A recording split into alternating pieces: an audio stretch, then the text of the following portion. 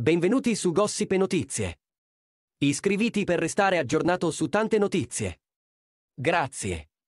A inizio agosto, proprio poco prima dell'inizio delle vacanze, Aurora Ramazzotti ha sorpreso tutti annunciando di essere alle prese con un trasloco in una nuova casa milanese. Complice l'arrivo inaspettato del figlio Cesare, insieme al compagno Goffredo Cerza ha sentito la necessità di spazi domestici più grandi, cosa che l'ha costretta ad andare alla ricerca di una nuova abitazione di famiglia. Inizialmente ha però preferito tenere la notizia nascosta, rivelando tutto ai followers sui social solo a opera finita. Ora che si è trasferita non ha ancora fatto un home tour ufficiale, ha mostrato solo alcuni piccoli dettagli dell'appartamento, dalle idee di interior design a cui si è ispirata al colore delle pareti.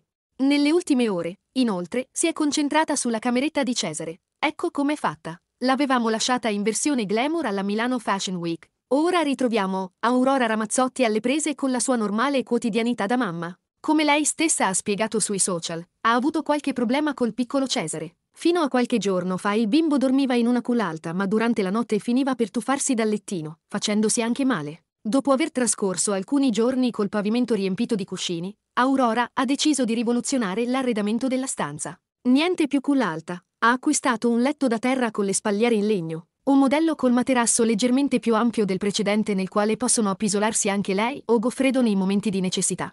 Al suo interno non mancano i comodi cuscini, i peluches preferiti del bimbo e le federe azzurre. Con il primo piano sul nuovo letto di Cesare Aurora ha inconsciamente rivelato anche alcuni dettagli inediti della cameretta di Cesare. Il dettaglio che balza subito all'occhio è la carta da parati a fondo bianco ma decorata all over con delle adorabili scimmiette verdi che si intrecciano tra loro. Accanto al lettino c'è un fasciatoio coordinato in legno chiaro materiale che rimanda al parquet che ricopre il pavimento, mentre sulla parte alta della parete ci sono delle mensole in cui tiene tutto il necessario per il bimbo. Davanti alla culla, inoltre, non mancano i quadrati di gomma su cui il piccolo può giocare in totale comodità.